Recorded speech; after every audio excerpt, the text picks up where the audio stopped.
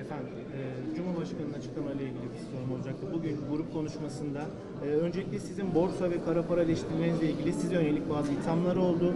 E, sefil, gafil, zavallı, namert, haysiyet fukarası dedi. Bir de siz 3 Aralık'a randevu vermiştiniz vizyon proje, projenizle ilgili. Vizyon, ilk kez vizyon açıklamasını duymaktan memnuniyet duyduk. Bizim asıl tartılmak istediğimiz kantar işte burası. Muhalefette böyle yarışmak istiyoruz dedi. Her iki soruya da neler söylersiniz? Böyle boş konuşmaya bırakın devam etsin. Kendisine bir çağrım var. 3 Aralık'ta gelsin. Benim konuşmamı dinlesin. Vizyon nedir? Kendisine öğreteceğim. Bundan hiç kimsenin endişesi olmasın. Erdoğan'ın da endişesi olmasın. Erdoğan'ın ufku nasıl aşılırmış ben vizyon konuşmasında ona göstereceğim.